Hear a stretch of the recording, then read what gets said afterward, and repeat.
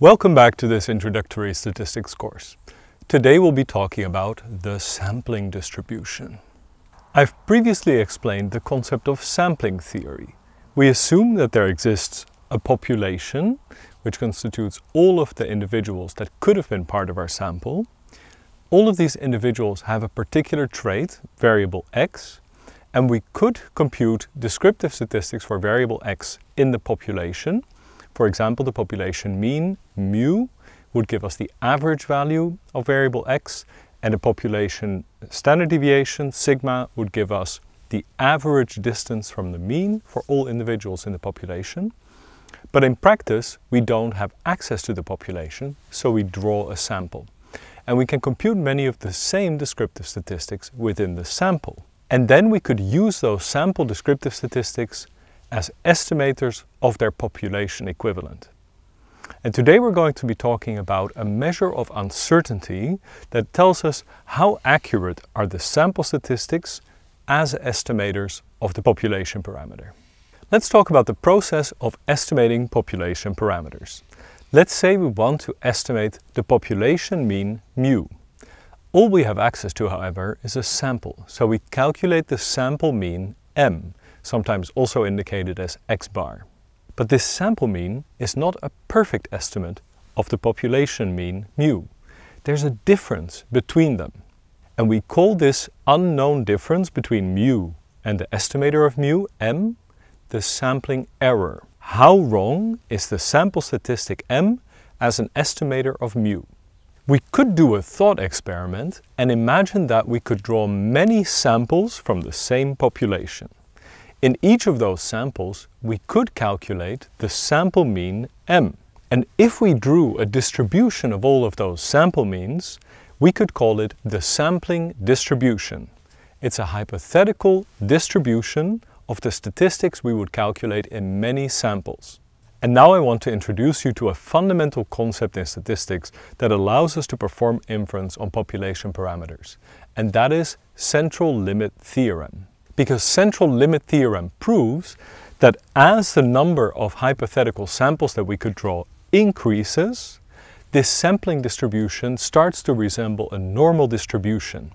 And the location of that normal distribution, so the value of its mean, converges to the true population mean. And the standard deviation of that sampling distribution tells us how wrong, on average, our sample means are as an estimate of the population mean. Because remember that the standard deviation of a normal distribution tells us the average distance from the mean, and in this case, that distance from the mean is the sampling error, so the standard deviation of the sampling distribution tells us the average sampling error of sample means relative to the true population mean. There's really only one condition that needs to be met in order for this to be true and that is that the samples we draw are sufficiently large. So what is sufficiently large? Well, let's say they have to be bigger than 30 observations. But one really fascinating insight is that this sampling distribution emerges regardless of the shape of the original distribution of the data. So this applies regardless of whether the variable is normally distributed in a population or uniformly distributed or has any other distributional shape. So here we see a demonstration of the sampling distribution. We see three distributions. The first distribution is the unobserved distribution of values in the population. So these are the values of all of the elements of our population.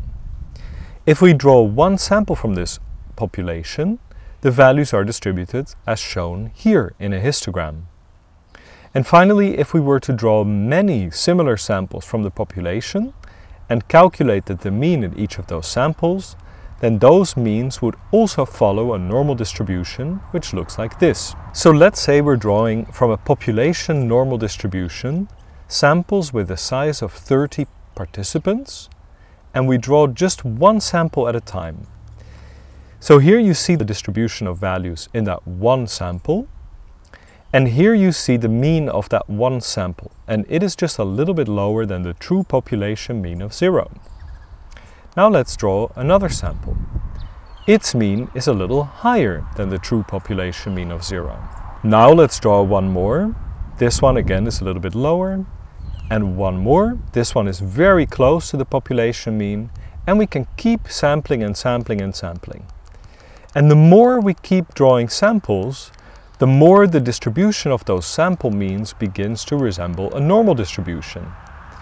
Until we draw, let's say, 200 samples, and it really closely resembles a normal distribution. And if we drew a thousand, it would be even more similar to a normal distribution. But now comes the interesting thing. If our population distribution is uniform, so every value occurs equally often, then our sample also looks pretty uniform, but again our sampling distribution is normal. So this is what central limit theorem tells us. No matter the shape of the distribution in the population, the distribution of sample statistics will be normal. And one final example just to really drive this home. This is a log normal population distribution. So if we draw one sample, we're also going to see that low values are much more common than high values. But again, if we draw the distribution of sample means, that looks pretty normal. The more samples we draw, the more normal it looks. And the larger the samples that we draw, the more normal it looks. Now let me introduce you to a very important concept, the standard error. I talked to you about the standard deviation of this hypothetical sampling distribution. And that standard deviation is so important that we've given it its own unique name to prevent confusion with the normal standard deviation. We call it the standard error. So the standard error is the standard deviation of the sampling distribution of a statistic. And with this in mind, we can say that the sampling distribution is normally distributed with mean equal to the population mean mu and standard deviation equal to the standard error of the mean. The standard error gives us the average sampling error. So when we use m to estimate mu, the standard error tells us how wrong we are on average. If the standard error is very small, then our guesses about mu based on the sample mean m are very accurate. And if our standard error is very large, then our guesses are very poor. We can calculate the standard error by taking the population standard deviation sigma and dividing it by the square root of our sample size. So the standard error has two ingredients, the population standard deviation and the sample size. How do these two ingredients influence the size of the standard error? First of all, the standard error decreases as our sample size increases. A larger sample gives us more precise estimates of the population mean mu. In fact, all sample statistics become better estimators of the population parameter as our sample size increases.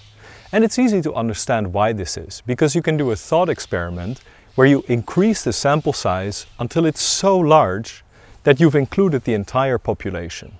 At this point, any sample statistic is equal to the population parameter with no sampling error.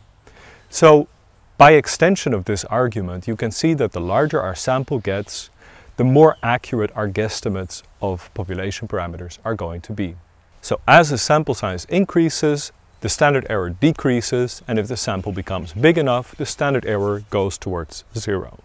The standard error also decreases if the population standard deviation decreases. And here's another thought experiment to understand why this is the case. Imagine that every person in the population has the exact same value. In other words, the standard deviation is zero. In this case, our sample in this case, our sample mean will be a perfect estimate of the population mean because everybody has the same value. So by extension, it stands to reason that as the population standard deviation decreases, the standard error also decreases and if the population standard deviation would be zero, then the standard error would also be zero and our sample means would be a perfect estimator of the population mean. So I've been talking about using the sample mean to estimate the population mean, but the same principles here apply to any other statistic that you could calculate. They each have their own standard error, and in this course you learn how to calculate the standard error for the mean by hand. The standard errors for other statistics can be a little bit more complicated to calculate, and that's why you will use statistical software to estimate those. The key takeaways are the following. You can use sample statistics to estimate population parameters. Sample statistics are not perfect estimators, they're always a little bit wrong. If we could take many samples from the population and we could plot the distribution of sample statistics, we would always get a normal distribution according to central limit theorem. And the standard deviation of that normal distribution tells us how wrong we are on average when we estimate the population parameter. That standard error is a measure of uncertainty about using our sample statistic as estimate of the population parameter. And we can use that measure of uncertainty for different purposes, including statistical testing. Let's see if you understand the intuitions behind the standard error. Imagine there are two elevators, one has a limit of 6 people and the other has a limit of 12 people. Both of these elevators get stuck if the average weight of passengers exceeds 95 kilograms. Which of these two elevators will get stuck more often than the other? The elevator for 6 people will get stuck more often because it is a smaller sample, so we're more likely to observe extreme values because the standard error is larger. And once we hit an extreme value that exceeds an average of 95 kilos per passenger, then the elevator will get stuck. Here is a second thought experiment to see if you understand the standard error. It has been observed that the best schools are often smaller schools. So does that mean that small scale education is better? This is a charged question for an audience of liberal arts students. Think about it for a second. We can find an alternative explanation for this observation in the formula for the standard error. Because again, smaller samples, so smaller schools, will be more variable because they have a larger standard error. So among small schools, there are more likely to be very good schools, but also more likely to be very bad schools. There's one remaining problem that I've ignored until now, and that is that we often don't know what the population standard deviation is. And there's a very simple solution. We just replace the population standard deviation with the sample standard deviation. Now let's look at some of the things that we can do with the standard error. Well, one thing you can do is to use the normal distribution and perform probability calculus, as we did last week. Last week we used probability calculus to estimate, for example, how likely it is to observe basketball players taller than 212 centimeters. This week we're going to use probability calculus to estimate how likely it is to observe a mean greater than a particular value. Thanks to central limit theorem, we can use the normal distribution to make inferences about population parameters using only sample statistics and you use the properties of the normal distribution to calculate all kinds of probabilities. So I want to briefly disambiguate the three different uses of the normal distribution that we've discussed today. First of all, we've talked about a variable being normally distributed in a population. This is called the population distribution and it has a mean of mu and a standard deviation of sigma. This distribution is typically unknown, or we also say it's unobserved. The second use of the normal distribution is to describe the distribution of data in a sample. This distribution has mean m and standard deviation s, or SD. And this distribution is typically observed. And the third use of the normal distribution has been as a sampling distribution. It describes the distribution of many statistics calculated in hypothetical samples from the population. This distribution also has mean mu and its standard deviation is the standard error. This is a theoretical distribution, so we know its theoretical properties and we estimate its parameters based on the sample, but we don't typically observe the sampling distribution. So one way to use the standard error is to express our uncertainty about the sample statistic as estimator of the population parameter. And this procedure is called a confidence interval. A very simple intuition to understand what a confidence interval is, is imagine that we calculate the average height of people in a sample, and it's 172 centimeters. How confident are we in 172 as an estimate of the population? Well, we could draw some windows around this value that tell us, well, the population value is unlikely to be much smaller than this and unlikely to be much higher than this. Those two windows, the lower bound and the upper bound, are a confidence interval. And we use a standard error to calculate it because the standard error is our measure of uncertainty about the statistic as an estimate of the population parameter. Remember that if the standard error is very small, then our guesses are very accurate, so this window is going to be very narrow. And if our standard error is large, then our guesses are going to be very imprecise, so this window is going to be very large too. And we use probability calculus to decide exactly how wide this window should be. Remember, for example, that 95% of a sample is between plus and minus 2 standard deviations. This is a very common probability to use for a confidence interval. So most often we report 95% confidence intervals and then we say that this is an interval that contains the population parameter with 95% probability. And remember that we're talking about long run probability. So if we would draw 100 samples from the population and calculate 195% confidence intervals in those 100 samples, 95% of them would contain the population value. Of course, we never know for one specific confidence interval whether it includes the population parameter. Right? So when we say 95% confidence, we are talking about confidence in the procedure. 95% of the time, this procedure will give us an interval that contains the population value.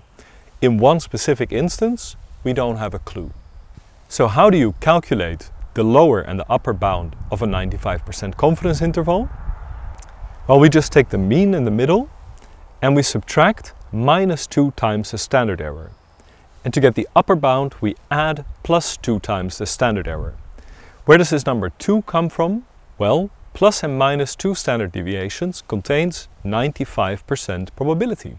That's where the 2 comes from. So if we wanted to get a 68% confidence interval, we would just take the mean plus and minus one standard error.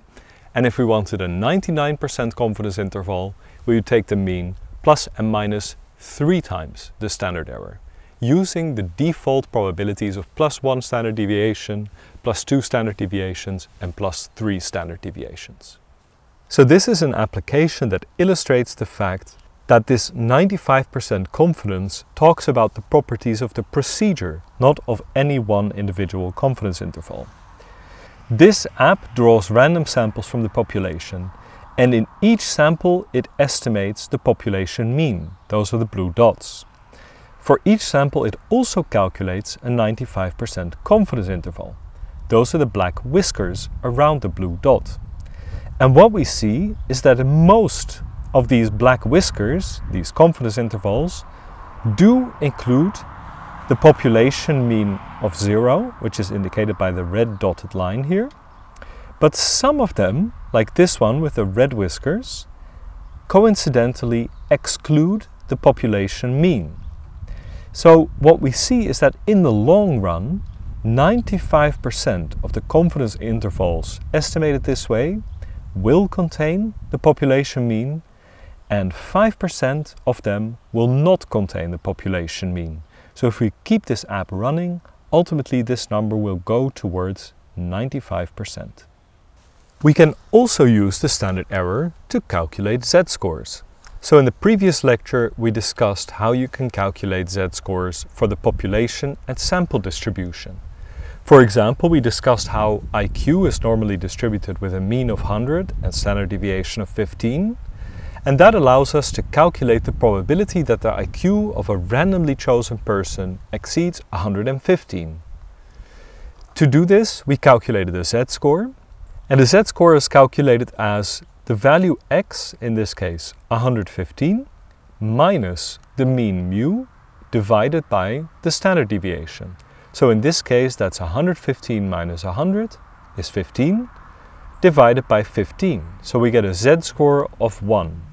And that's correct because the z-score tells us how many standard deviations this value is above the mean. So a value of 115 is one standard deviation above the mean. And then we can look up in a table or calculate in a spreadsheet the probability of observing a z-score greater than 1. And that probability is 0.025 or 2.5%. Now today we're going to use the same probability calculus and apply it to the sampling distribution of the mean. And this allows us to answer questions such as, what is the probability that the mean of a random sample of 9 people exceeds 115? To answer this question, first we have to calculate the standard error of the mean. Remember that that is sigma divided by the square root of n. So sigma, the standard deviation, is 15 Sample size n is 9 and the square root of 9 is 3. So we get 15 divided by 3 is 5. And then we can use the z-score again. So in this case we take 115 minus 100 is 15, divided by 5 gives us 3. And then we can calculate the probability of observing a z-score greater than 3 and that probability is 0.001. So the probability that the mean of a random sample of 9 people exceeds 115 is just one tenth of a percent. Here's another example. Let's assume that weekly fruit consumption is distributed normally with a mean of 10.5 and a standard deviation of 6.4. What is the probability that the mean fruit consumption of 16 randomly chosen people is less than 7.78? Well again, first we have to calculate the standard error because this is about the sample means. So we divide the standard deviation of 6.4 by the square root of the sample size and the square root of 16 is 4. So 6.4 divided by 4 is 1.6. And then we can calculate the z-score. So we take the value x, which in this case is 7.78, minus the mean 10.5 and we divide this by 1.6. And we get a z-score of minus 1.7. So now what we need is the left tail probability to the left of minus 1.7. And we can look this up in a table or use a spreadsheet to calculate it. And what we observe is that that probability is 0.04. So there's a 4% chance of observing a sample with a mean smaller than 7.78. As a final example, dear to my heart, a coffee roaster uses a machine to fill 1000 bags with coffee. The machine's accuracy is standard deviation of 10 grams. For how many grams should this roaster set the machine to ensure that at most one bag out of a thousand contains less than 250 grams? Again, first we have to calculate the standard error. The standard deviation was 10 and we divide that by the square root of 1000 and obtain 0.32. So this is the standard error. Then we want to find the z-score for a probability smaller than 0.001, which is 1 in a thousand. And that z-score is 2.33. So this is the z-score that matches a right-tailed probability of 0.001. Then we can reverse the math of the z calculation to get an x score. So we take the mean plus 2.33 times the standard error and we obtain 250.75. So in order to have at most one bag contain less than the nominal amount of 250 grams of coffee, this roaster needs to add 3 quarters of a gram extra to every bag. That concludes our lesson for today. Good luck with your lab exercises.